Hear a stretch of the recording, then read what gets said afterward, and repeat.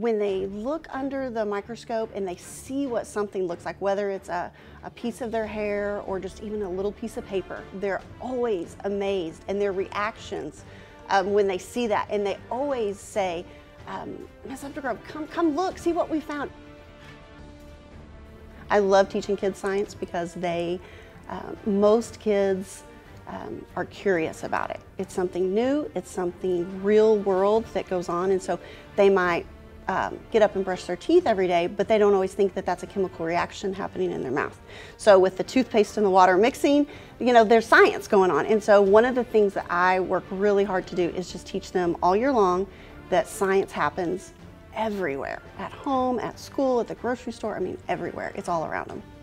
Mrs. Uptergrove is definitely an enthusiastic person, and she's always trying to get you engaged into what you're learning about and she's always creative and fun and trying to find something fun for you to do, but also knowledgeable so you can learn.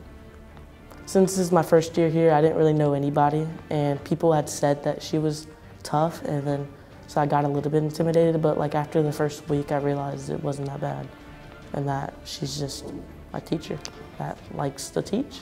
So when I'm planning my lessons, I'm thinking about um, the basics that they need to know as a seventh grade science student, but then taking that a little further so that they're um, expanding their minds and they're thinking about um, critical thinking and harder type questions and different situations. And so I want them to push themselves, but not be um, so hard that they make a bad grade because a lot of them are very concerned about they want good grades and I want them to be successful, but I also want them to, um, you know, meet those high expectations and learn what they need to learn. Success to me for a seventh grader is a lot of things. It's, um, yes, it's science, and I'm teaching them that, and I'm wanting them to learn a little more about that. But to me, more importantly, is life skills. They're learning how to work in a group, um, teamwork in their lab groups. Um, they're learning how to treat one another, you know, how to make sure they're in a safe classroom and in a safe lab. Um, they're learning organization, you know, a lot of skills that I feel like they're going to need for the rest of their life, not just in seventh grade. I do believe she cares in uh, me and other students because we have a question, she's right there to answer it. We have to tell her something, she's there to listen.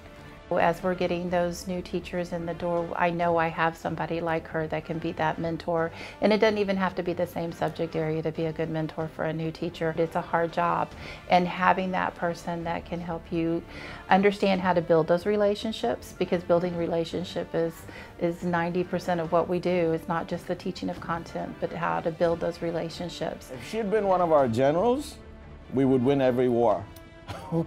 We'd win every war that we've ever been to, you know? She's that good. Just every small detail is taken care of.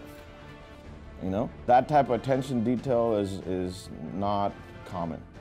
You know? It's probably one of the rarest uh, things there is, and she's good at it.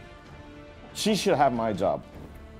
Seriously, she should have my job. She's that good you know, I didn't grow up in GP, but I've kind of transitioned into a Wildcat and um, I've loved it. You know, I've had um, two kids that have graduated that are GP uh, graduates, and so um, it's really, um, I, I, I, love it. I mean, we just strive for excellence. We just continue to, um, you know, look at uh, different things, different options, you know, just different things to make sure our students are successful, our teachers are, are successful and happy, and everybody, you know, enjoys coming to work. Um, you know, we have great leadership. We have, uh, you know, here at the middle school, we have great administrators, central.